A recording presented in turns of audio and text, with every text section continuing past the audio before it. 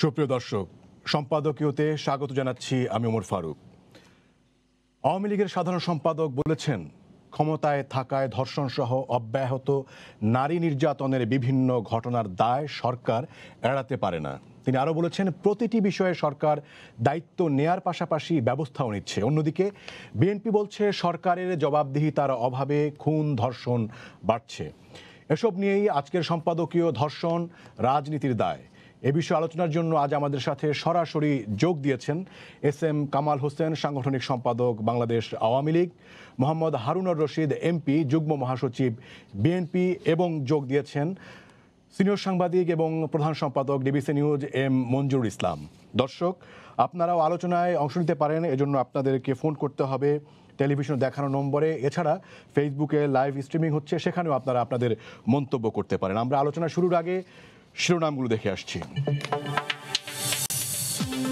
নোয়াখালীতে গৃহবধূ নির্যাতনের প্রতিবাদে বিক্ষোভ, গ্রেফতার বাদল, দেলোয়ার, অপর দুই আসামি রিমান্ডে, ভিডিও সরিয়ে নিতে হাইকোর্টের নির্দেশ।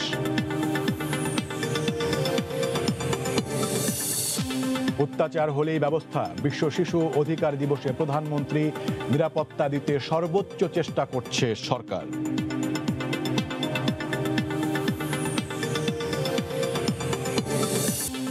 বাংলাদেশের গ্লোব বায়োটেকের ভ্যাকসিন আন্তর্জাতিক মানের প্রাণী দেহে প্রয়োগে অ্যান্টিবডি সৃষ্টির কথা জানালো সংবাদ সম্মেলনে।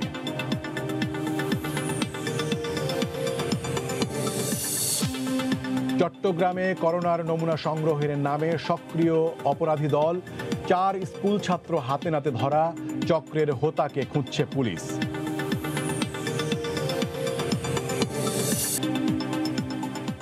আপনাদের তিনজনকেই স্বাগত জানাচ্ছি আজকের আলোচনায়। সাম্প্রতিক সময়ের পর আবারও আজ, আবারও এই ধর্ষণ একদম টক অফ দ্য কান্ট্রিতে পরিণত হয়েছে এবং যেই ভিডিওটি ভাইরাল হয়েছে সেটি আসলে রোমহর্ষক।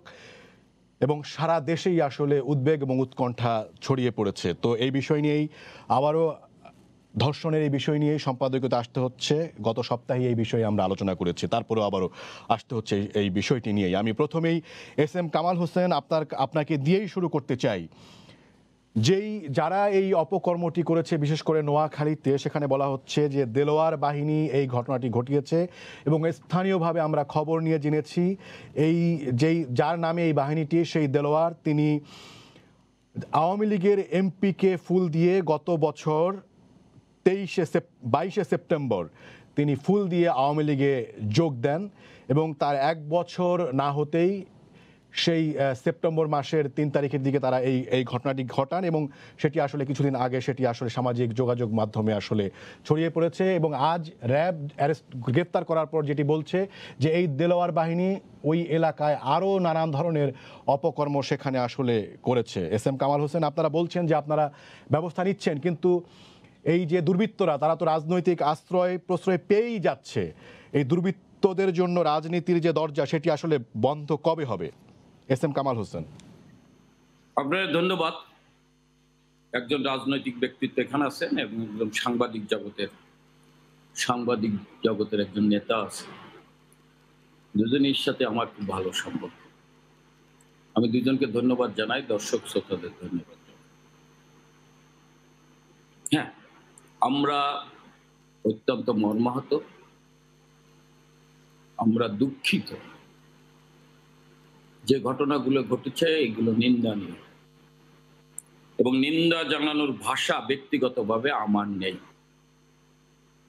কারণ আমি মনে করি যে আজকে যিনি প্রধানমন্ত্রী, তিনি যেভাবে সাহসিকতার সাথে, দক্ষতার সাথে, সততার সাথে সমস্ত ক্রাইসিস মোকাবেলা করে দেশটাকে এগিয়ে নিয়ে যাচ্ছে, যখন বিশ্ব থমকে দাঁড়িয়েছিল করোনা মহামারীর কারণে। সেই সময়ে আমাদের এই প্রিয় নেত্রী, আমাদের এই করোনা মহামারীর সময় স্বাস্থ্য খাতে কিছুটা অনিয়ম, ত্রুটি থাকার পরও উনি সরাসরি দেখভাল করার মধ্যে দিয়ে মানুষকে স্বাস্থ্য সেবা দেওয়ার জন্য, করোনার বিষয়ে মানুষকে সচেতন করার জন্য উনি যে উদ্যোগ গ্রহণ করেছেন, অর্থনৈতিকভাবে যেভাবে উনি দেশটাকে একটি জায়গায় দাঁড় করিয়ে রেখেছেন এবং দুর্যোগ মহামারীর সময় উনি যেভাবে দিনরাত পরিশ্রম করে দেখেন এই করোনার ভিতরও একটি ঘূর্ণিঝড় হয়েছিল বন্যা হয়েছিল কামাল হোসেন আমাদের আজকের আলোচনার বিষয় কিন্তু করোনা নয়। আপনি বাংলাদেশের সবচাইতে প্রাচীন দল বাংলাদেশ আওয়ামী লীগের সাংগঠনিক সম্পাদক। আমি আপনার কাছে যেটি জানতে চাই যে নোয়াখালীতে এরকম একটি ঘটনার পরে এবং যেখানে বলা হচ্ছে যে এরকম একজন দুর্বৃত্ত এমপির হাতে ফুল দিয়ে তিনি আওয়ামী লীগে যোগ দিয়েছিলেন। তো সেইখানে আপনি আওয়ামী লীগের সাংগঠনিক সম্পাদক সেখানে কি আপনারা দলের পক্ষ থেকে কোনো ব্যবস্থা নিয়েছেন কোনো খোঁজ খবর নিয়েছেন? আপনি আপনি আমার কথাটা শেষ করতে দেন আমি ওই লাইনেই যাচ্ছি। এক ঠিক ওই লাইনেই যাচ্ছি। বলুন। সেই মুহূর্তে আজকে এই দুর্বৃত্তরা এই যে যে ঘটনা ঘটিয়েছেন এরা কোনো মানুষ জানো মানুষের বাচ্চা না জানোয়ারের বাচ্চা। এবং আমি মনে করি যাদের ছত্র ছায় এই অমানুষ, এই সুবিধাবাদী, এই দস্যুরা দলের ভাবমূর্তি ক্ষুণ্ণ করছেন। তাদের কোনো রকমই ছাড় মাননীয় প্রধানমন্ত্রী দেবেন না এবং এদের বিরুদ্ধে তদন্ত সাপেক্ষে ব্যবস্থা গ্রহণ করা হবে। আমরা মনে করি, কোনো যারা মা বোনের ইজ্জাত দিতে পারে না, যারা মা বোনকে প্রকাশ্যে অপমান করে, লাঞ্ছিত করে যাদের মা বোন, যারা মা বোনকে ধর্ষিতা করে, ধর্ষণ করে, ওরা কোনো মানুষের বাচ্চা বলে মনে হয় না। ওরা মানুষ ওরা যে দলের থাকুক, আমাদের প্রিয় নেত্রী তাদের বিরুদ্ধে কড়া ব্যবস্থা নেবেন আপনি দেখেছেন, সঙ্গে সঙ্গে কিন্তু তাদেরকে গ্রেপ্তার করার নির্দেশ দেওয়া হয়েছে, রিমান্ডে নিয়েছে। এখন একটি অপকর্ম না, এটা মহা অপকর্ম করেছেন। আমি তো এই ঘটনার নিন্দা জানাই দল। আমাদের আমরা এই দায় দায়িত্ব এড়াতে পারি না। এই দায় দায়িত্ব নিয়েই এস এম কামাল হোসেন আপনারা বলছেন? কিন্তু আমরা একের পর এক ঘটনা যে ঘটছে সেটা নিয়ে আপনারা হ্যাঁ। কোনো বিশ্লেষণ করছেন কিনা যে এইটা আসলে কেন হচ্ছে? এইটা ধরেন হচ্ছে মানে আজকে সামাজিক অবক্ষয়ের কারণে হতে পারে। এইটা হয়তো বা ষড়যন্ত্র হতে পারে। আপনি যেটা বলেছেন আমি একটা কথা বলি। একটা হচ্ছে সামাজিক অবক্ষয় ষড়যন্ত্র হতে পারে। এক বছর আগে যে লোকটা ফুল দিয়ে আমাদের, আমার হাত দিয়ে যখন দলে যোগদান করেছে, সে মানসিকভাবে মনে প্রাণে শেখ হাসিনার চিন্তা চেতনাকে ধারণ করতে পারে না, শেখ হাসিনা কি চায়? সে আওয়ামী লীগের লক্ষ্য, চিন্তা, চেতনাকে সে ধারণ করতে পারেনি। সে অতীতে যে দল করেছিল সেই দলের চিন্তা চেতনাকে ধারণ করে এসে, আমি যদি মনে করি যখন দেশটার শান্তিপূর্ণভাবে এগিয়ে যাচ্ছেন তারা এই ঘটনা ঘটনা ঘটিয়েছেন, এই অনুপ্রবেশকারীরা এটা ঘটাচ্ছেন। দায় দায়িত্ব হচ্ছে আমার হাত দিয়ে যোগ আমিও এড়া- মানে এই দায় দায়িত্ব থেকে আমিও রেহাই পেতে পারি না। কিন্তু এটা এই ঘটনাগুলো ঘটিয়েছেন, যার ফলে ধরেন আমরা সিদ্ধান্ত নিয়েছি, এই স্বল্প সময় বা যারাই কয়েক বছর আগে আমাদের দলে কারও কারও ছত্রছায় যোগ দিয়েছেন, তারা কেউ দলের কোনো টায়ারে নেতা হতে পারবেন না কোনো কমিটিতে থাকতে পারবেন না। এটা এস এম আমাদের কামাল হোসেন আপনাকে ধন্যবাদ। আমি নিশ্চয়ই আপনার কাছে আবারও ফিরবো। আমি মোহাম্মদ হারুন রশিদ এমপি আপনার কাছে আসতে চাই। আজকে এসে আপনারা বলছেন আপনাদের বিএনপির জ্যেষ্ঠ যুগ্ম মহাসচিব রুহুল কবির রিজভি বলছেন যে নারীদের রক্ষায় পাড়া মহল্লায় পাহারা বসাতে হবে। আমরা জানি যে অনেক দিন ধরেই বাংলাদেশে এই ধর্ষণের নানা সমস্যার কথা দেখতে পাচ্ছি। এবং সেখানে এস এম কামাল হোসেন তিনিও বলেছেন যে তারা এখানে ষড়যন্ত্র কিনা সেটাও তারা দেখবেন এবং অনুপ্রবেশকারীরা এটি ঘটাচ্ছে সেটাও তারা বলছেন। এবং আপনাদের আসলে সদিচ্ছা কতটুকু? আপনারা এতদিন পরে এসে বলছেন যে, নারীদের রক্ষায়, পাড়া মহল্লায় পাহারা বসাতে হবে। সেই ক্ষেত্রে মানে একটি রাজনৈতিক দল হিসেবে, বাংলাদেশের একটি বড় রাজনৈতিক দল হিসেবে বিএনপি কি তার সামাজিক এবং রাজনৈতিক দায়িত্ব পালন করতে পারছে? ধন্যবাদ। আজকে গুরুত্বপূর্ণ যে বিষয়টি নিয়ে আলোচনার সূত্রপাত করেছেন এবং আজকে যে টেলিভিশনের আপনাদের সংবাদ শিরোনামগুলো এখানে আমাদেরকে শোনালেন, আসলে আমি সর্বপ্রথমে বলব সাম্প্রতিক সময়ে ধর্ষণের যে বহুমাত্রিক ঘটনাগুলো সংঘটিত হচ্ছে, এটি শুধু উদ্বেগের নয়, এটি আমাদের জন্য লজ্জার, এটি আমাদের জন্য অত্যন্ত ঘৃণার এবং এটিকে নিন্দা জানানোর, এটিকে প্রতিবাদ করার মতো আমার কোনো ভাষা নেই। আমরা এই বিংশ শতাব্দীর এই অবস্থা আমরা কোথায় দাঁড়িয়েছি? আজকে কেন আপনার, এখানে আমি কোন রাজনৈতিক দলকে সমালোচনা বা দোষারোপের জন্য আমি বলছি না।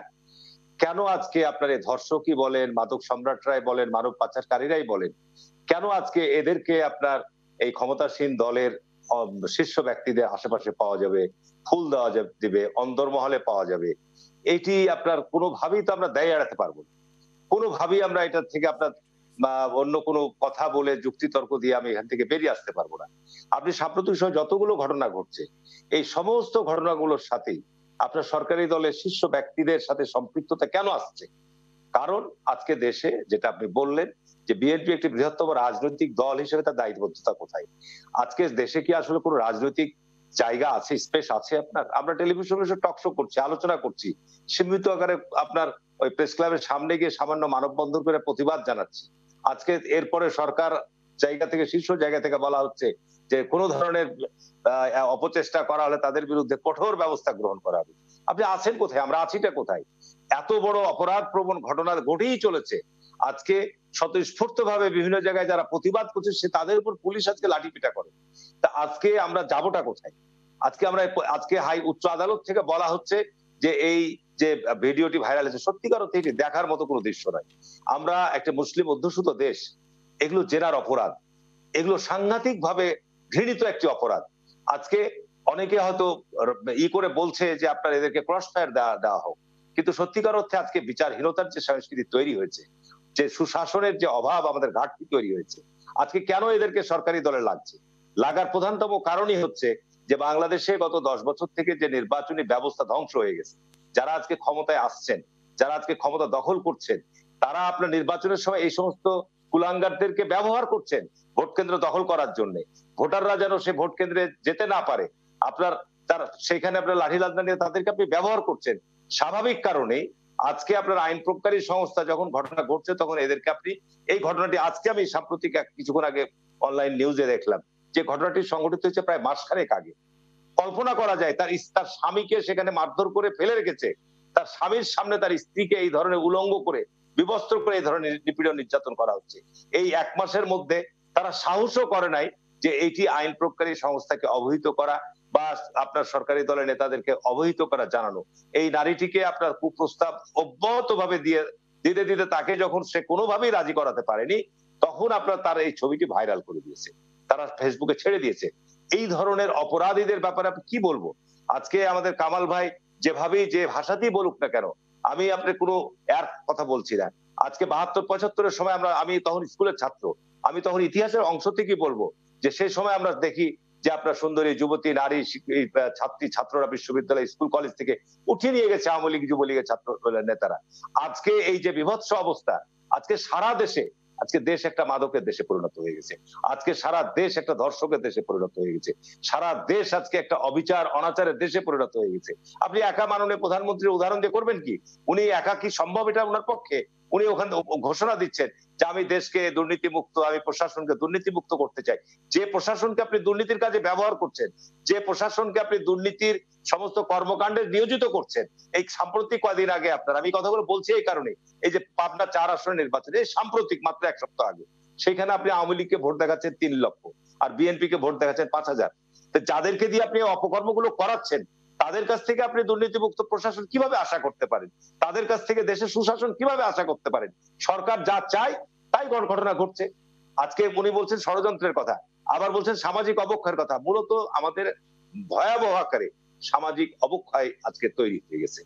আজকে আমাদের রাজনীতিতে একটি ভয়াবহ বিপর্যয় তৈরি হয়েছে। দেশে একটা বিরাজনীতিকরণের যে ওয়ান ইলেভেনের মধ্যে দিয়ে যাত্রা শুরু হয়েছিল, সেটি এখন চূড়ান্ত রূপ পরিগ্রহ করেছে।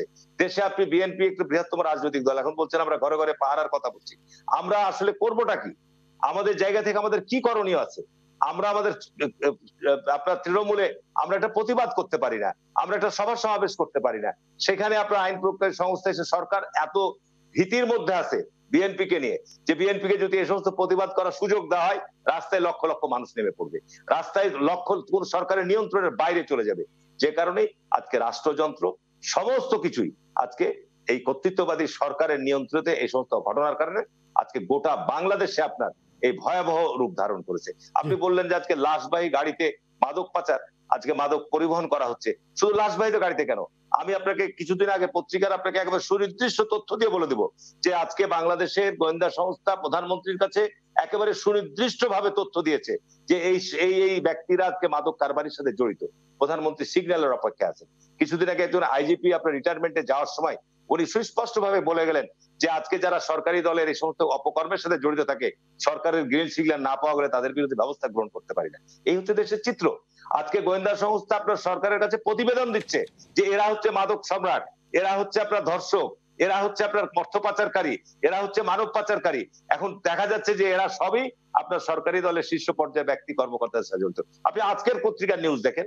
যে একটা স্কুলের প্রকল্পে একটা গাছের দাম দেখানো হয়েছে চার কোটি টাকা একটা নারকেলের গাছের দাম দেখানো হয়েছে এমপি আমরা নিশ্চয়ই আপনার কাছে আবারও আসব আমি আপনার কাছে এক মিনিট। শেষ করে দিচ্ছি। এখানে বিষয়টা হচ্ছে আজকের নিউজ দেখেন। তো এই যে প্রকল্প পরিচালক নিয়োগ কারা দিয়েছে মন্ত্রীরা দিয়েছে। তা আপনি প্রকল্প পরিচালককে সাসপেন্ড করে করবেন কি? যে মন্ত্রী তাকে নিয়োগ দিল কিসের ভিত্তিতে তাদেরকে নিয়োগ দিয়েছে? দুর্নীতি করার জন্য নিয়োগ দিয়েছে? সুতরাং সরকার বলবে যে আমরা চোরকে ধরছি আমরা চোরকে নিয়োগ দিয়ে চোর ধরে তো লাভ নাই আপনার। আপনাকে দিতে হবে সৎ যোগ্য ব্যক্তিদেরকে নিয়োগ। আপনাকে আগে জবাবদিহিতার মধ্যে আসতে হবে। এটি আমাদের অভাব হয়ে গেছে বলে আজকে এই সমস্ত কর্মকাণ্ড জি আপনাকে ধন্যবাদ। আমরা নিশ্চয়ই আমি আপনার কাছে আবারও ফিরবো। মঞ্জুর ইসলাম মঞ্জুর মঞ্জুর ভাই আমি আপনার কাছে যেটি জানতে চাই সেটি হচ্ছে যে সামাজিক অবক্ষয়ের কথা বলা হচ্ছে আহ, আহ, নানান ধরনের কথাবার্তা বলা হচ্ছে। আমি যদি আপনার কাছে সুনির্দিষ্টভাবে জানতে চাই যে আসলে সমাজে নানান ধরনের বিকৃতি, নানান ধরনের বিষয় থাকবে। তো সেই ক্ষেত্রে মানে রাজনৈতিক দলগুলোর আসলে ভূমিকাটা আসলে কেমন প্রত্যাশিত?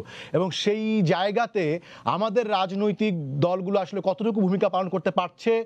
এবং নানান ধরনের দুর্বৃত্তরা ঢুকে পড়ছেন, বাবা বিভিন্ন সময় জিরো টলারেন্সের কথা বলা হচ্ছে, বহিরাগতদের কথা বলা হচ্ছে, তাদের বিরুদ্ধে ব্যবস্থা নেওয়া হচ্ছে, হবেও বলা হচ্ছে, আবার একের পর এক ঘটনাও ঘটছে। সব মিলিয়ে আসলে রাজনীতির দায় কতটুকু?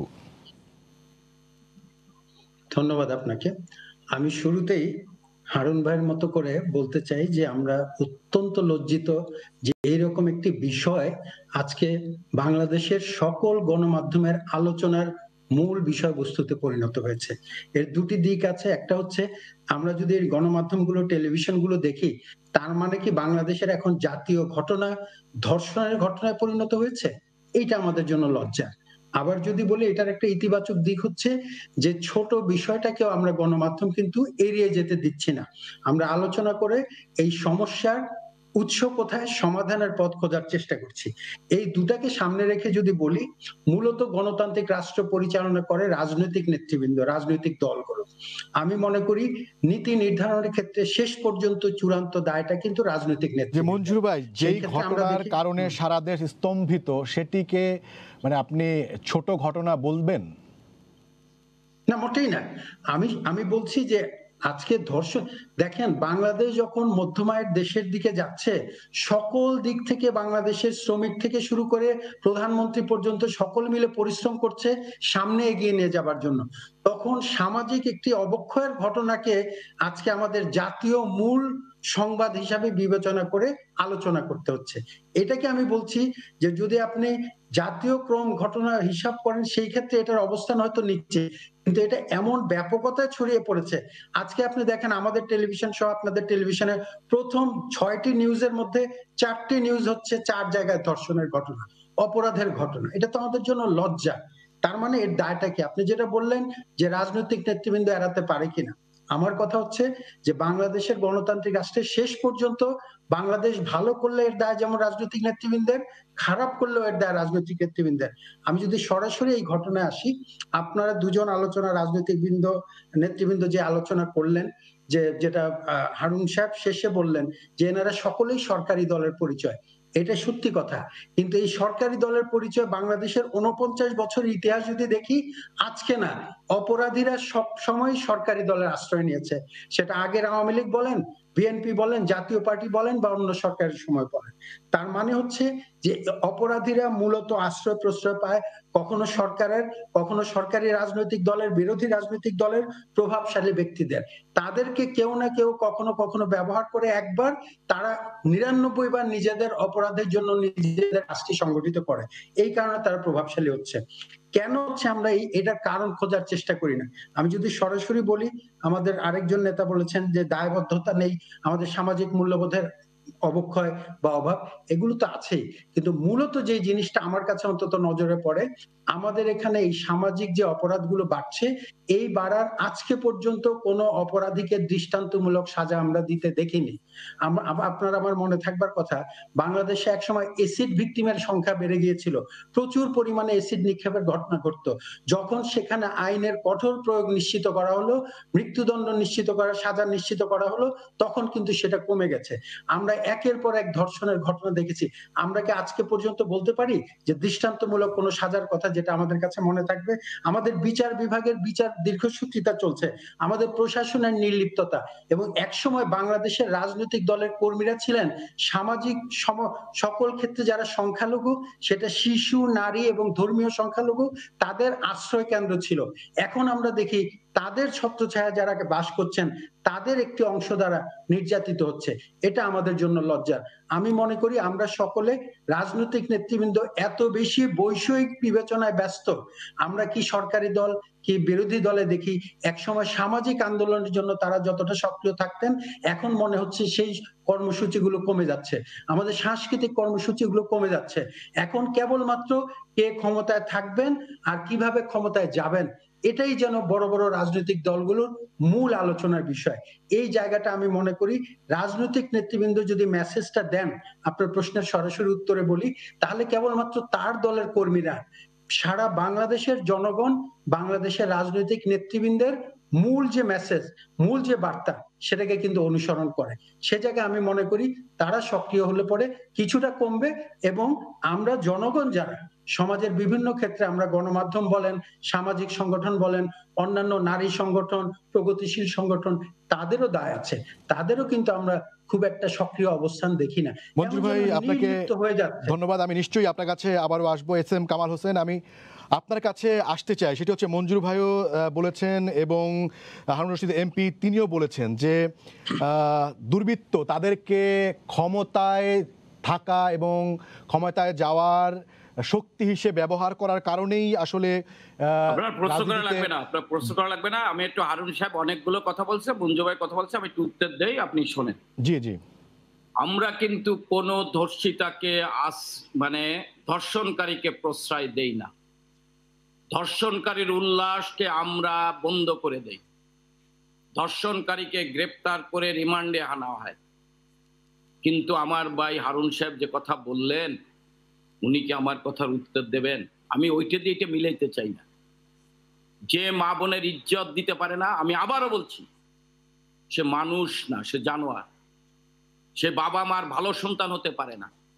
কিন্তু হারুন সাহেব উত্তর দেবেন? দুই হাজার এক সালের পরে উল্লাপাড়ার পূর্ণিমা, বাবা মাকে ঘরে বেঁধে বাবা মার সামনে পূর্ণিমাকে রেপ করেছিল ছাত্র দলের মুস্তানরা, উল্লাস করেছিল। বিচার তো দূরের কথা, গ্রেপ্তার করা হয়নি। হারুন সাহেব উত্তর দেবেন, উনার নিজ অঞ্চলে পুট- পুটিয়ায় উনি রাজশাহী বিশ্ববিদ্যালয়ের ছাত্রলীগের নেতা ছাত্র দলের নেতা ছিলেন, তার পাশেই পুটিয়া। সেই পুটিয়ায় মহিমা রাতের বেলা আখ খেতে গিয়েছিল। একজন কলেজের শিক্ষক যিনি জামাত করেন আর দুইজন যুব দলের কর্মী, পূর্ণিমাকে ধরে নিয়ে রেপ করেছিল এবং তার বিবস্ত্র ছবি পুটিয়ার বাজারে ছাপিয়ে দিয়েছিল। সেই মহিমা ঘৃণায়, লজ্জায় আত্মহত্যা করেছিল বিচার হয়নি, গ্রেপ্তার হয়নি, উল্লাস হয়েছিল। বিরোধী দলের নেত্রী আজকের প্রধানমন্ত্রী দেখতে গিয়েছিল, তার পথসভায় লোক আসতে দেওয়া হয়নি। আগলজরা শিপালি আট মাসের অন্তঃসত্ত্বা। তাকে পালাক্রমে রেপ করেছিল। বাগের হাটে ঠাকুর বাড়িতে বাইশ জন মহিলাকে রেপ করা হয়েছিল। রামপালে ছবিরানী বিশ্বাসকে খুলনার হাসপাতালে মৃত্যুর সাথে পাঞ্জা লড়েছিল। বিচার হয়নি। আমরা বলি না যে আমাদের আমলে এই অন্যায়গুলো হচ্ছে না। অন্যায়গুলো হচ্ছে, তার পিছনে যারা আছে তাদেরকেও মাননীয় প্রধানমন্ত্রী ধরবেন উনি বললেন, নির্বাচনে জনগণের আস্থা ছিল না বলেই ভোটারবিহীন নির্বাচন বিদায়।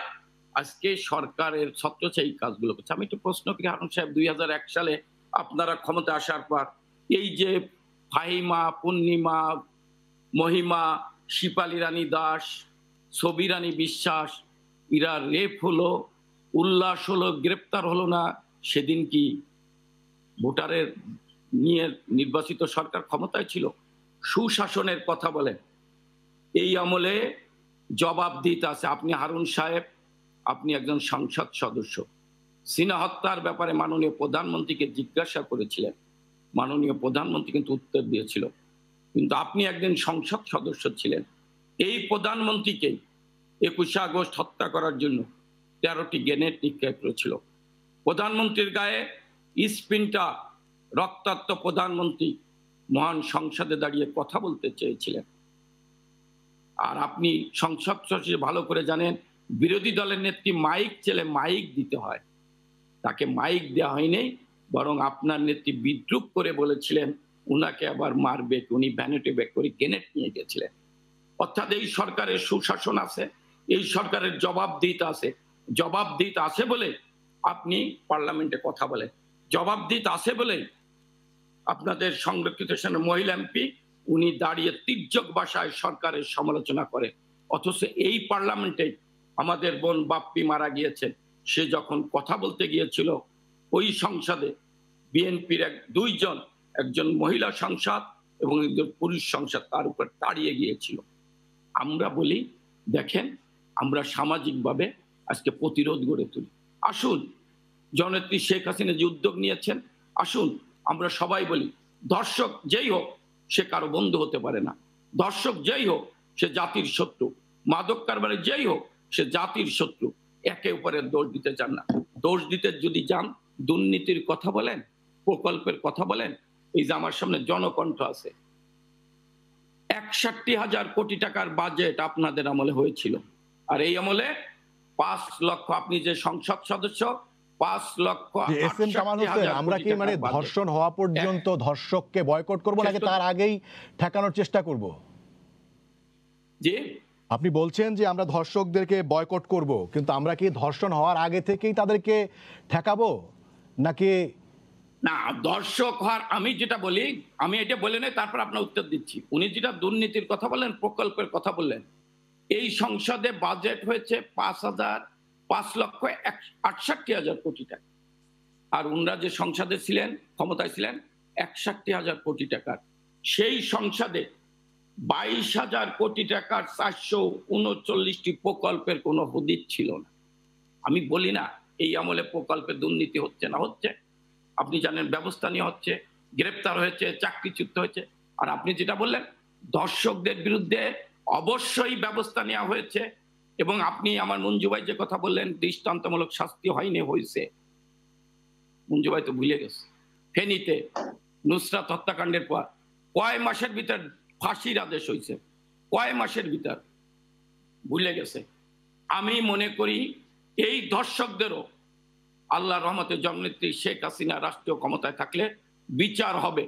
কারণ ধর্ষকদের জননেত্রী শেখ হাসিনা কোন রকম প্রশ্রয় দেবে না। অতীতে কামাল হোসেন আপনাকে ধন্যবাদ। আমি নিশ্চয়ই আপনার কাছে আবারও আসব। আমাদের একজন দর্শক অপেক্ষা করছেন প্রশ্ন নিয়ে। আর একটু বলে নেই। জি জি। আর এক সেকেন্ড উনি সুশাসনের কথা বললেন উনরা মাঠে নামতে পারেন না। উনরা তো উনাদের নেতা বি চৌধুরী রাষ্ট্রপতি ছিল। আমরা ধরেন আওয়ামী লীগের লোক আমাদের নামতে দেয় নাই। আমাদের নেত্রীর জনসভায় গ্রেনেড হামলা করছেন। নেত্রী যখন ক্যান্টনমেন্টে গিয়েছেন মামলা করেছেন যখন হুমায়ুন আজাদকে দেখতে গিয়েছেন এইগুলো ওনারা করেছেন। কিন্তু উনাদের নেতা ছিল বি চৌধুরী রাষ্ট্রপতি ছিলেন। তিনি কিন্তু মুক্ত অঙ্গনে যেতে পারেননি। তিনি পুলিশ পাশে দাঁড়ানো পুলিশের পাশ ধরে উনি রেল লাইন দৌড়াচ্ছেন। আপনি একজন সাংবাদিক হিসেবেও জানেন এবং ছাত্রদল যুবদলের কর্মীরা তাকে লাঠি নিয়ে পিছনে পিছনে দাবড়াচ্ছেন। ওনাদের কামাল ভাই আপনাকে ধন্যবাদ। দর্শক আপনার পরিচয় দিয়ে প্রশ্ন করুন। আমরা প্রশ্নে চলে যাচ্ছি। দর্শক আপনার পরিচয় দিয়ে প্রশ্ন করুন। জি আসসালামু আলাইকুম। ওয়ালাইকুম সালাম। জি আমি ইব্রাহিম ফরিদপুর থেকে বলছিলাম। জি আপনি প্রশ্ন করুন। আমার প্রশ্ন হলো যে আমরা টকশো টেবিলে মাঝে মধ্যেই দর্শকের বিচার হচ্ছে দর্শকের বিচার করছি কেউ সার পাবে না এটা আমরা কথার কথা শুনতেই পাই। আদৌ কি বাংলাদেশের জমিনে এমনও কি কোনো বিচার বিভাগের পরিবর্তন হবে যে যাতে দর্শকরা প্রকৃত দর্শকরা বিচার পায়? জি আপনাকে ধন্যবাদ। ধর্ষকদের বিচার নিয়ে উনি সংশয় প্রকাশ করেছেন। আদৌ হয় কি না সেটা নিয়ে উনি সংশয় প্রকাশ করেছেন। আমি হারুন রশিদ এমপি আপনার কাছে যেতে চাই। আপনারা আপনি বলেছেন রাজনীতিতে দুর্বৃত্তায়নের কথা এবং বর্তমান সময়ে কেন দুর্বৃত্তায়ন হচ্ছে সেটিও বলেছেন। এবং পাল্টা এস এম কামাল হোসেন বলেছেন যে আপনাদের সময় পূর্ণিমা মহিমা, শেফালি, ছবিরানী বিশ্বাস সহ নানান ধরনের ঘটনা ঘটেছে। এখন প্রশ্ন হচ্ছে মানে রাজনীতিতে কি মানে মানে দুর্বৃত্তায়ন মানে পাল্টা পাল্টি যদি ধরা হয়, যদি কামাল ভাই এবং আপনাদের দুজনের কথা যদি আমরা সঠিক ধরে নেই, তার মানে হচ্ছে রাজনীতির যে কোনো সময় আসলে এগুলি আমরা দেখতেই থাকব এবং জনগণকে আসলে সেগুলি ভুগতেই থাকতে হবে। এমপি। জি, ধন্যবাদ। আমি জনাব কামাল ভাইয়ের মনোযোগ দিয়ে তার বক্তব্য শুনছিলাম। আমি খুব বিস্মিত এবং হতবাক। আসলে এই কথাগুলো উত্তর আমি কীভাবে দিব, আমি নিজে ভাষা খুঁজে পাচ্ছি না। আওয়ামী লীগের একটা যে চিরাচরিত অভ্যাস আমি দেখে আসছি, যে নিজেদের ব্যর্থতা ঢাকতে আপনার অন্যের দোষ খুঁজে বেড়ায়। আপনি আলোচনা শুরু করলেন, আজকেই মিডিয়ায় নিউজ চারটি জায়গায় ধর্ষণের শিকার হয়েছে, ভয়াবহ শিকার। আজকের পত্রিকায় নিউজ উচ্চ আদালতে ভয়াবহ ভাবে আপনার জালিয়াতির মাধ্যমে সব জামিন হচ্ছে। আজকে প্রবাসীরা আপনার গত পনেরো দিন যাবত কি বিভৎস অবস্থার মধ্যে তারা তাদের সময় অতিক্রম করছে। আজকে এই কথাগুলো কামাল ভাই সেই দু সালে ফাহিমা পূর্ণিমা, নাসরিন কত রকমের কথা বলে নিয়ে আজকে সারা বিশ্ব এবং সারা দেশ কিন্তু আজকে এই- এই আপনার সময়টা টেলিভিশনের এই আলোচনাগুলো রাত জেগে শুনছে এবং দেখছে। এর পারসেপশনটা কিন্তু জনগণ নিচ্ছে। এখানে মঞ্জুর ভাই বলেছে, অনেক কথাই নিয়ে এসেছে। আজকে আমাদের রাজনীতিবিদদেরকে যদি আমরা সঠিক জায়গায় নিয়ে যেতে না পারি, উনি বলেছেন যে দেশের আপনার একটা গণতান্ত্রিক রাষ্ট্র, সমাজ ব্যবস্থায় রাজনীতিবিদরাই রাষ্ট্র পরিচালনা করে। এবং রাজনীতি যদি সঠিক না থাকে, রাজনীতি যদি আপনার স্বচ্ছ না থাকে, রাজনীতি যদি জবাবদিহিতার মধ্যে না থাকে, তা আপনি কোনো অবস্থাতেই আপনি যা রাষ্ট্রকে সঠিক জায়গায় নিয়ে যেতে পারবেন না। এই জায়গাটাকে আমাকে খুঁজতে হবে। এইটি হলো আজকে মূল বিষয়। আজকে আপনি ঘুরিয়ে ফিরিয়ে ক্ষমতায় আছেন, আপনি একটা দলের সদস্য, আপনি, আমরা একে অপরের দোষারোপ করব দোষারোপ করে তো আপনি জনগণের কাছে যে ভোগান্তির মধ্যে আছে, সেই জায়গার পথটা তো আপনাকে বের করতে হবে। আজকে বিচার বিভাগের যে দুর্বলতার জায়গাগুলো কোথায়? বিচার বিভাগের দুর্বলতা হচ্ছে যে যে পরিমাণ আপনি গত দশ বছরে পুলিশ বাহিনীতে লোক নিয়োগ দিয়েছেন। কারণ আপনার পুলিশ বাহিনীতে লোক দরকার কি কারণে? যে আপনি তাদেরকে ব্যবহার করতে পারছেন ক্ষমতায় থাকার জন্য। কিন্তু বিচার আজকে চৌত্রিশ লক্ষ মামলা আজকে পেন্ডিং অবস্থায় আছে। সেখানে আপনি দশ বছরে কতজন বিচারক নিয়োগ দিয়েছেন? সেখানে আজকে যদি আপনি এই চৌত্রিশ লক্ষ মামলাকে, এই যে আজকে একজন দর্শক প্রশ্ন করেছে যে আমরা কি বিচার এখানে বিচার বিভাগের দায় দায়- দায় লাভ নাই। তার কারণ আপনার একটা বিচারক কতটি বিচার করতে পারবে? এখানে ইনভেস্টিগেশন অফিসারদের যে দায়িত্ব, নির্ধারিত সময়ে যে আইনের বিধিবিধান রয়েছে, নির্ধারিত সময়ে তদন্ত রিপোর্ট দাখিল করা, আমি আমার এক্সাম্পল দিয়ে বলছি, আমি একজন জাতীয় সংসদের সদস্য। আমি আজকে দুই বছর আগে, আমি নিজে বাদী হয়ে যে থানায় আমার নিজের থানায় মামলা দায়ের করেছি। সেই মামলার তদন্ত রিপোর্ট এখন পর্যন্ত, একটি ছোট্ট মামলা নালিশি সেই মামলা তদন্ত রিপোর্ট এখন পর্যন্ত পুলিশ ইনভেস্টিগেশন অফিসার আমাকে আসামি করে যে মামলা প্রায় দুই বছর হতে গেল, সেই মামলা তদন্ত রিপোর্ট পানি তো আজকে আপনি এখানে, আজকে সরকারি দলের আমাদের কামাল ভাই যে কথাগুলো বলছেন, আজকে সংকটটা কোথায়? সংকটটা হচ্ছে যখনই সরকারি দলের ব্যক্তিরা আপনার মামলার বাদী হচ্ছে বা মামলার আসামি হচ্ছে, তখনই দেখা যাচ্ছে সব জায়গায় আপনার গোলযোগ দেখা দিচ্ছে। আপনি দুর্নীতি দমন কমিশন যেখানেই যান না কেন? তো আজকে আমি চলে গেলাম আপনার কোথায়? আমরা আলোচনা সূত্রপাত করলাম যে আমরা এই যে বা সারা বাংলাদেশে এখন ধর্ষণ বলেন বা মাদক বলেন বা এই সমস্ত যে অপরাধ প্রবণতা বৃদ্ধি পাচ্ছে এখান থেকে আমরা বেরিয়ে আসতে পারব না এস এম কামাল হোসেন যেই জায়গাটি বলছেন সেটি হচ্ছে তিনিও স্বীকার করছেন যে ওনাদের সময়ে ঘটনা ঘটছে ধর্ষণ হচ্ছে কিন্তু আপনাদের সময়ের তুলনায় পার্থক্য এই জায়গাতেই যে এই সময়ে ব্যবস্থা নেওয়া হচ্ছে কিন্তু আপনাদের সময় ব্যবস্থা নেওয়া হয়নি। সেই জায়গাতে আপনি কি? বলেননি। উনি সঠিক বলেনি আমি আপনাকে খুব স্ট্যাটিস্টিক্স দিয়ে বলব দু হাজার এক থেকে দু সাল পর্যন্ত বিএনপি ক্ষমতায় ছিল। সেই সময় একটা পনেরোশো, পনেরো বিশ কোটি মানুষের দেশ, সেখানে আপনি কোন সময় অপরাধ শূন্য দেশে পরিণত হবে। আমাদের মতো আপনার একটা উন্নয়নশীল দেশ এটা কল্পনা করা যায় না কোনো তো সেইখানে আপনার অপরাধ যে বিএনপির সময় ছিল না বিএনপির সময় হয়নি কথা আমি আপনাকে বলব না। অপরাধ তো অপরাধ আছে, কিন্তু কথা হচ্ছে যে অপরাধের মাত্রাটা, যে ভয়াবহতা আকার ধারণ করেছে, সেইটি আজকে আপনি বিবেচনায় নিয়ে আসেন। যে আপনি গত ছয় মাস আমি দশ বছর বাদই দিলাম। এই ছয় মাসে আপনি আমার কাছে যে এখন স্ট্যাটিস্টিক্স আছে, যে আপনার গত নয় মাসে ধর্ষণের শিকার হয়েছে নশো পঁচাত্তর জন। গত আপনার দোসরা অক্টোবর আপনার নয়া দিগন্তে প্রকাশিত হয়েছে। তার মধ্যে আপনার আপনার দুশো আট জন নারী গণধর্ষণের শিকার হয়েছে। আপনার তেতাল্লিশ জন ধর্ষণে মারা গিয়েছে। আপনি বলেন কি? যে আপনি আপনি একটা বছর দেখান তো বিএনপি শাসন আমলে যে কোনো এক বছরে আপনার নশো, এক হাজার জন ধর্ষণের শিকার হয়েছে এবং পঞ্চাশ জন নারী গণধর্ষণের শিকার হয়েছে এবং চল্লিশ জন নারী আপনার আত্মহত্যা করেছে, এই ধরনের ঘটনা আপনি দেখান তো দু সাল থেকে দু সাল পর্যন্ত। এগুলো তো আলোচনার জন্য আপনি আলোচনা করতে পারেন। কিন্তু বাস্তব অবস্থাটা হচ্ছে কি যে আমরা একটা যে গভীর সংকটের মধ্যে রয়েছি, আজকে রাজনৈতিক, আজকে জনাব ওবায়দুল কাদের বলছেন যে আমরা কোনো দায় এড়াতে পারব না। আমরা তো ব্যবস্থা গ্রহণ করছি। কেন আজকে এই পরিস্থিতি তৈরি হয়েছে? আজকে দেশের রাজনীতি না থাকার কারণে। আজকে যদি আপনার সত্যিকার অর্থে দেশে রাজনীতি থাকতো, যদি রাজনৈতিক প্রক্রিয়ার মধ্য দিয়ে নির্বাচনগুলো গুলো শুধু এমপি নির্বাচন নয়, আপনি আজকে শতকরা ninety nine point five percent আপনার হচ্ছে আজকে সরকারি দলের এমপি উপজেলা চেয়ারম্যান আজকে বাংলাদেশে পঞ্চাশ বছর ইতিহাসে এরকম অতীতে কোনো ঘটনা ছিল? আপনার হয় ফর্টি পার্সেন্ট সিক্সটি পার্সেন্ট না হলে ফিফটি ফিফটি না হলে আপনার একটা পার্সেন্টেজ স্বতন্ত্র এমপিরা থেকেছে। কিন্তু এখন সব আপনার সরকারি দলের এমপি আপনাকে ধন্যবাদ আমি নিশ্চয়ই আপনার কাছে আবার ফেরার চেষ্টা করব। সংকটের তৈরি হচ্ছে এই ইসলাম আমি আপনার কাছে আসতে চাই। আপনার কি মনে হয় আপনি বাংলাদেশের একজন সিনিয়র সাংবাদিক? হারুন রশিদ এমপি বলছেন যে আগের সময়ের তুলনায় এখন ধর্ষণের মাত্রা বেড়েছে। এটির সাথে আপনি একমত কিনা? আরেকটা বিষয় আমি যেটি জানতে চাই, সেটি হচ্ছে আজকে আদালত বলেছেন যে ভিডিওটি সরিয়ে নিতে, এই ভিডিও সম্পৃক্ত যে একটি আপনার বিশ্লেষণ জানতে চাই, সেটি হচ্ছে মানে একটি ঘটনা তারা ঘটাচ্ছে, রোমহর্ষক ঘটনা, এবং তারা সেটি ভিডিও করছে, এবং সেই ক্ষেত্রে যারা অপরাধ বিজ্ঞানীরা রয়েছেন, তারা বলছেন যে মানে যেহেতু এই অপরাধীরা জানে যে তাদেরকে আসলে কখনোই বিচারের মুখোমুখি হতে হবে না। সেই কারণে তারা নিজেরাই একটি প্রমাণ রাখতেও আসলে কুণ্ঠিত হচ্ছে না বা দ্বিধান্বিত হচ্ছে না। এবং তারা সেটি সানন, সানন্দ এবং উল্লাসের সাথে সেই প্রমাণটি রেখে দিচ্ছে। এই ভিডিও নিয়ে আপনি কি বিশ্লেষণ করবেন একজন গণমাধ্যম ব্যক্তিত্ব হিসেবে? মঞ্জুর ইসলাম। এই ক্ষেত্রে আমি সরাসরি বলব যে সামাজিক যোগাযোগ মাধ্যমকে আমরা যারা মূলধারার গণমাধ্যমে আছি, তারা কখনো কখনো সমালোচনা করে।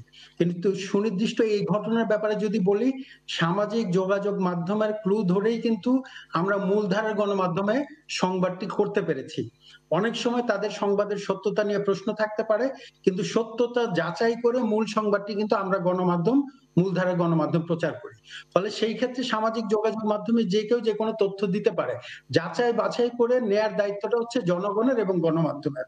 ফলে আমি মনে করি আদালতের নির্দেশনা ঠিক আছে, কারণ যেটা এক ধরনের শ্লীলতা, হালি, এটা দিয়ে সামাজিক এক ধরনের ব্যবিচারের বিস্তার ঘটবে, সেটাকে সরিয়ে নেওয়া। কিন্তু যখন এসে সামাজিক যোগাযোগ মাধ্যমের মধ্য দিয়ে আমরা কিন্তু অনেক চিত্র, সমাজের যে বিভৎস চিত্র আমরা সামনে তুলে আসতে দেখি, আপনার মনে থাকবার কথা, ওই যে শিশুদের বায়ু পথে বাতাস দিয়ে হত্যা করা হচ্ছে। এই ধরনের ঘটনা কিন্তু প্রথম আমরা সামাজিক যোগাযোগ মাধ্যমে জানতে পারি। ফলে সেই ক্ষেত্রে আমি তাদের একটা ক্রেডিট দিতেই চাই। আর আপনি যে প্রশ্নটি করলেন, আমার শ্রদ্ধেয় সংসদ সদস্য হারুন রশিদ সাহেব, যেহেতু ওনারা দুজনই দুটি বড় দলের নেতা, তাদের কারও পক্ষেই আমি সাফাই গাইতে পারব না, আবার বিপক্ষেও যেতে পারব না, আমার সেই অধ্যত্ত নাই। তবে গণমাধ্যম কর্মী হিসেবে এটুকু বলব যে অপরাধ স্বাধীনতার পর থেকে সবসময় ছিল এবং পৃথিবীর সব দেশে আছে।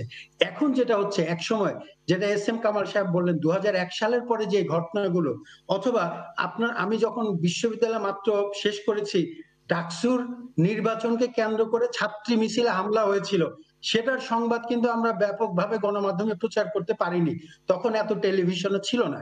ফলে অনেক ঘটনাই কিন্তু একসময় অপরাধ হতো, গণমাধ্যম সাহস করে প্রচার করতে পারতো না, গণমাধ্যমের সীমাবদ্ধতা।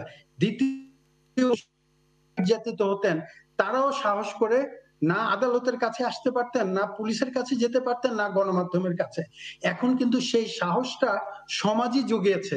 আজকে নির্যাতিত নারীও কিন্তু মুখকে লুকিয়ে রেখে সে বলে কীভাবে তার নির্যাতনের শিকার হয়েছে।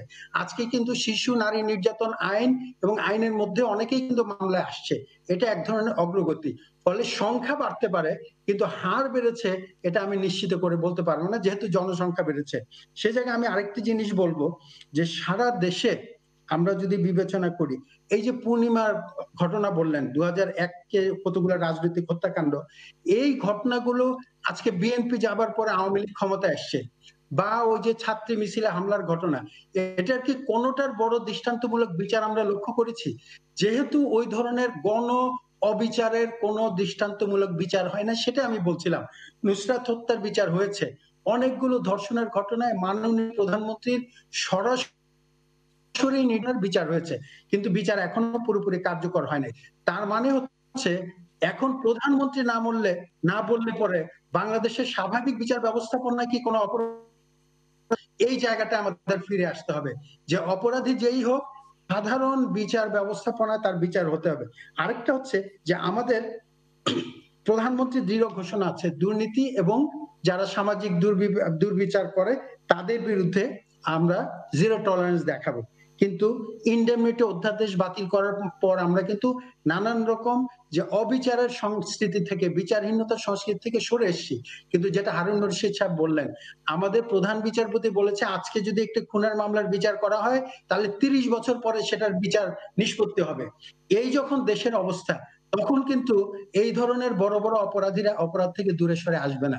ফলে আমি মনে করি পুরো জায়গাটায় রাজনৈতিক নেতৃবৃন্দের উপর আবার আমাদের ভরসা। তাদেরকে দৃষ্টান্ত স্থাপন করতে হবে, নীতি নির্ধারণের ক্ষেত্রে রাজনৈতিক দলগুলোকে ভূমিকা পালন করতে হবে। অপরাধীরা কিছুতেই যেন তাদের কোনো ছত্র ছায়া নিতে না পারে। সেটা সরকারি দল হোক, বিরোধী দল হোক। এবং তারা যদি তাদের দলের মধ্যে দৃষ্টান্তমূলক সাজা নিশ্চিত করেন, সামাজিকভাবে বয়কট করেন, এবং আইন শৃঙ্খলা রক্ষাকারী বাহিনীতে যারাই থাকেন যেই সরকারি ক্ষমতা থাকুক, নির্বিচারে তাদেরকে তাদের পথ চলতে দেন। আমাদের কদিন আগের ঘটনা বলেন না, সরকারি প্রশাসনের ডিসি এসপি বড় বড় কর্তারা যখন এই ধরনের অপরাধের সাথে জড়িত, তার কি কোনো দৃষ্টান্তমূলক সাজা আমরা লক্ষ্য করেছি? রক্ষক যখন রক্ষক হয়, তখন মানুষ তো অসহায় হয়ে যায়। সেই জায়গায় আমি মনে করি এই অপরাধের পাশাপাশি আজকে এই যে দেলোয়ার বাহিনীর কথা শুনলাম নোয়াখালীতে, সারা বাংলাদেশ সরকারি দল, বিরোধী দলের ছত্রছায়া বিভিন্ন বাহিনীর তত্ত্বাবধানের তৎপরতায় এক ধরনের অপরাধ প্রক্রিয়া চলছে। এর বিরুদ্ধে কিন্তু আমরা সরাসরি বলব আওয়ামী লীগ এবং বিএনপির দায় এবং দায়িত্ব আছে। তারা যদি সক্রিয় হন এই ধরনের দুর্বৃত্তরা এম মঞ্জুর ইসলাম আপনাকে ধন্যবাদ এস এম কামাল হোসেন আমি আপনার কাছে আসতে চাই। সেটি হচ্ছে আমি আপনার কাছে যে প্রশ্ন করতে চাই যে আপনারা বলছেন যে আপনারা অন্য আমলের চেয়ে আপনাদের পার্থক্য হচ্ছে যে আপনারা ব্যবস্থা নেন। তো আপনারা ব্যবস্থা নেন নেয়ার পরেও যদি হারুনুর রশিদ এমপির যে পরিসংখ্যান, সেটি যদি সত্য হয়, তারপরেও কেন মাত্রা বাড়বে? আপনারা যদি ব্যবস্থা ব্যবস্থা নেওয়ার কারণে তো সেগুলো আসলে ধীরে ধীরে কমে আসার কথা, কিন্তু ধীরে ধীরে বাড়ছে কেন? এর কি উত্তর দেবেন আপনি? আপনার একটু বলি আর কি। হারুন সাহেব, তার এলাকার বর্ণন তাদের সময় বর্ণনার কথা বললেন, পনেরো কোটি। তখন পনেরো কোটি ছিল না, কারণ আজকে বারো বছর পর আঠারো কোটি, উনিশ কোটি লোক। সেদিনকের একটি কাহিনী বলি। বাগেরহাটের ফকিরহাটের ঘটনা। তেরো বছরের মেয়েকে বাইশ জন পালাক্রমে রেপ করেছে বাবা মা পায়ে পড়ে কান্না করেছে। সেই মেয়ে চিৎকার করেছে বাবা বাঁচাও বাঁচাও। পরে ওই মেয়ে মারা গিয়েছে। বিচার হয়নি ভাই নোয়াখালীর যে ভদ্র মহিলা উনিও কিন্তু বাবা ছেড়ে দে বলে আমি হাজারি করেছেন। মানে এগুলো বলে কি মানে আপনারা কি পাল্টা পাল্টি জাস্টিফাই। মানে জাস্টিফাই হয়ে যাচ্ছে কিনা আমি সেটা জানতে চাচ্ছি আপনার কাছে। তারপর বলেন যে জাস্টিফাই আপনি আমরা বলতে দেবেন অমর সাহেব। অবশ্যই অবশ্যই ভাই আপনি বলেন। মহিলা চিৎকার করেছেন নোয়াখালীর যে মহিলা চিৎকার করেছেন, সঙ্গে সঙ্গে কিন্তু খবর আসার পর পুলিশ কিন্তু দুই দিনের ভিতর তাদেরকে গ্রেপ্তার করেছেন। অর্থাৎ সরকারের সদিচ্ছা আছে। যত বড় শক্তিশালী লোক। কিন্তু বাগেরহাটের ওই তেরো বছরের মেয়ের ঘটনা কিন্তু কেউ গ্রেপ্তার হয়নি, উল্লাস হয়েছে। বলতে পারেনি হারুন সাহেব যে কেউ গ্রেপ্তার হয়েছে। গ্রেপ্তার হয়নি। তখন মিডিয়া ছিল না, খালি পত্রিকা ছিল। দুইটি প্রাইভেট মিডিয়া ছিল তারা তখন সংবাদ ওইভাবে প্রকাশ করতো না। এটিএন আর চ্যানেল আই বিটিভি সরকারের নিয়ন্ত্রণে ছিল পত্রিকা ছিল এরকম সামাজিক যোগাযোগ মাধ্যম ছিল না। অর্থাৎ গোটা দেশ ধর্ষণের দেশ হয়েছিল। গোটা দেশ খুনের দেশ হয়েছিল দুই হাজার এক সাল থেকে দুই হাজার ছয় সাল। হারুন সাহেব আর একটা কথা বলেছেন যে ঈশ্বাদ্দির নির্বাচন নিয়ে। হারুন সাহেবরা কি এখানে নির্বাচন করতে গিয়েছিল? অবশ্যই গিয়েছিলাম। না না আপনি আমার কথা শেষ করতে দেন হারুন ভাই। আমি সঞ্চালক হিসেবে আপনার জিজ্ঞেস আপনি বাংলাদেশের নাগরিক। একজন প্রার্থী যদি আগের দিন বলে আমি নির্বাচন বয়কট করব। একটা কেন্দ্রে যদি এজেন্ট না দেয় তাদের যে মূল সমন্বয় করি মিস্টার টুকু সাহেব উনি বললেন আনুষ্ঠানিকতার জন্য নির্বাচনে যাচ্ছি। চোদ্দটা ইউনিয়ন চোদ্দটা কেন্দ্রীয় নেতা যাইতো। চোদ্দটা কেন্দ্রীয় নেতা নির্বাচনে আনুষ্ঠানিকতার জন্য গেছিলেন নির্বাচনকে প্রশ্নবিদ্ধ করতে গিয়েছিলেন। ওনাদের নেতা হারুন সাহেব নির্বাচন বাণিজ্য করতে গিয়েছিলেন। যেমন তিরিশে ডিসেম্বরে নির্বাচনে প্রশ্নবিদ্ধ করার জন্য উনাদের নেতা তারেক যা কামাল মনোনয়ন ভাই বাণিজ্য আমি আপনার কাছে একদম ছোট- ছোট করে জানতে চাই সেটি হচ্ছে যে আপনারা এত তড়িৎ ব্যবস্থা নিচ্ছেন তারপরেও একের পর এক রোমহর্ষক ঘটনার যে খবর আমরা পাচ্ছি সেটির পেছনে আসলে কারণ কি? একদমই যদি দুই তিন বাক্যে বলেন আমাদের সময় একদমই শেষ। আমি আপনার বলি আগে আমি আরেকটা কথা বলি। এক সেকেন্ডে বলতেছি। উনি বিচার ব্যবস্থার কথা বললেন যে, পুলিশে নিয়োগ হয়, বিচার বিভাগে নিয়োগ হয় না। এখন বিচার বিচারপতি নিয়োগ করতে হলে তো তার ক্রাইটেরিয়া ঠিক করতে হবে, তার যোগ্যতা থাকতে হবে। এবং উন্নাদের আমলে বিচারপতি নিয়োগ দিছিল সার্টিফিকেট জাল করে ধরা পড়ছিল, আপনিও জানেন। এখন জাল সার্টিফিকেট দিয়ে বিচারপতি নিলে তো বিচারপতি হবে না, ঘুষ খাবে। আর আপনি যেটা বলছেন হ্যাঁ আমরা কিন্তু তড়িৎ গতিতে বিচার করছি, স্বল্প সময় বিচার করছি, যেটা নুসরাত হত্যাকাণ্ডের বিচার। এবং আমি করি তারপরেও ঘটনা একের পর এক ঘটনা কেন ঘটছে? সেই ক্ষেত্রে আসলে দায়টা কার? এইটা এইটা হচ্ছে হচ্ছে যে আমি মনে করি যেটি হচ্ছে সামাজিক অবক্ষয়ের কারণে। এইটা মানে রাজনীতিবিদদের কোনো দায় নাই। এবং না না রাজনীতিবিদের অবশ্যই দায়িত্ব আছে। এবং আমি মনে করি এই দুর্বৃত্তরা আমাদের ছত্রছায় ঢুকে জননেত্রী শেখ হাসিনার যে উন্নয়নের কর্মকাণ্ড সে যে বিশ্বের দরবারে একটি প্রশংসিত হিসেবে এগিয়ে যাচ্ছে তাকে প্রশ্নবিদ্ধ করার ভাই আপনাকে ধন্যবাদ। আমি এমপি আপনার কাছে আসতে চাই। আওয়ামী লীগ আওয়ামী লীগের এস এম কামাল অনুপ্রবেশকারী হোসেন চ্যালেঞ্জ ছুড়ে দিয়েছেন। আপনার দিকে যে আপনি আপনাদের সময়ে ব্যবস্থা নেওয়া হয়েছে একজনেরও নাম আপনি বলতে পারেন নাই। এক সেকেন্ডে শেষ করি। অনুপ্রবেশকারী কিন্তু আওয়ামী লীগ আছে। খন্দকার মুস্তাক আওয়ামী লীগ অনুপ্রবেশকারী ছিল। জি কামাল আপনাকে ধন্যবাদ। হারুন রশিদ এমপি। বাংলাদেশ আওয়ামী লীগ বাংলাদেশ আওয়ামী লীগ আপনার অনুপ্রবেশকারী দলে পরিণত হয়ে গেছে। আমি আসলে কামাল উত্তর কি দিব? দ্বিতীয় কথা হচ্ছে যে দেশের প্রধান বিচারপতি। বাংলাদেশের পঞ্চাশ বছরের ইতিহাসে কোনো বিচারপতির এরকম ঘটনা নাই। ওনাদেরই নিয়োগপ্রাপ্ত প্রধান বিচারপতি। আজকে আপনার মার্কিন যুক্তরাষ্ট্রে উনি রাজনৈতিক আশ্রয় নিয়ে অবস্থান করছেন। এটি বাংলাদেশের জন্য কত বড় লজ্জা। আজকে বাংলাদেশের উনি এতক্ষণ যাবৎ বক্তব্য দিলেন পূর্বের অতীত নিয়ে এত ঘাটাঘাটি। আমাদের মূল আলোচ্য বিষয় ছিল যে আজকে আমরা এই সংকট কীভাবে মোকাবেলা করব? আমাদের আলোচ্য বিষয় হচ্ছে রাজনীতির দায়। আমি সেই জায়গা থেকে এই এই প্রশ্নটাকে আমি প্রাসঙ্গিক মনে করি। আপনাদের সময়ে আপনারা কোনো বিচার করেছেন কিনা ধর্ষকের যেগুলো আলোচিত ছিল সেটি কামাল হোসেন সেই প্রশ্ন তুলেছেন। আপনি সেটার উত্তর যদি দেন বলেন কি আপনি বিচার বিচার হবে না কেন আপনার? বিচার যে বিষয়টা আসছে বিচারের দীর্ঘসূত্রিতা। বিচারের দীর- দীর্ঘসূত্রিতা যে আজকে বিচারপতি বলেছেন যে আজকে একটি হত্যা মামলা দায়ের হলে সেটা নিষ্পত্তি হতে সময় লাগে তিরিশ বছর। তার কারণ বাংলাদেশের যে বিচারিক যে প্রক্রিয়া এই বিচারিক প্রক্রিয়ার যে দীর্ঘসূত্রিতা কারণটা কি? আপনার একটা বিচারক আমি তো নিজের ঘটনাই বললাম যে আমি যে মামলা করেছি সেই মামলার এখন পর্যন্ত ইনভেস্টিগেশন রিপোর্ট দু বছর থেকে তো পাই। তো বাংলাদেশে বিচারিক প্রক্রিয়া শুধু বিচারকদের উপর দায়িত্ব না যারা ইনভেস্টিগেশন কর্মকর্তা আছে তারা যথাসময়ে সঠিক তদন্ত করে দিচ্ছে কিনা সাক্ষীরা যাচ্ছে কিনা বাদী সেখানে হাজির হচ্ছে কিনা তাদের নিরাপত্তা নিশ্চিত হচ্ছে কিনা এই অনেকগুলো বিষয় আছে তো। আজকে আপনার সরকারি দলের লোকদের বিরুদ্ধে অপকর্ম যারা করছে তাদের বিরুদ্ধে যারা আজকে ক্ষতিগ্রস্ত হচ্ছে তারা আপনার আইনের আশ্রয় নিতে পারছে? আপনি আইনের আশ্রয় নেওয়ার কোনো সুযোগ পাচ্ছে? আপনি বলেন কি কামাল ভাই? যে আজকে আপনি ওই বিএনপির সময় কি হয়েছিল বিএনপির সময় কোন মামলা হয়েছে তার প্রতিক্রিয়া হয়েছে হাজার আপনি হাজার ঘটনা দেবো। আপনি সময় টিভিতে আমাকে একদিন কাউকে লাগবে না। আপনি আর আমি থাকেন একদিন ডেট আমাকে বলে দেন যে আপনাদের সময়ের যে ঘটনাগুলো জি, মোহাম্মদ হারুন রশিদ, এমপি, এম মঞ্জুল ইসলাম এবং এস এম কামাল হোসেন। আপনাদের তিনজনকেই অসংখ্য ধন্যবাদ। আমরা সময় নিতে পারছি না আমাদের সময় শেষ। দর্শক, আপনাদেরও ধন্যবাদ জানিয়ে শেষ করছি আজকের সম্পাদকীয় আগামীকাল। আবারও দেখা হবে রাত দশটায়। দেখার আমন্ত্রণ রইল। শুভরাত্রি।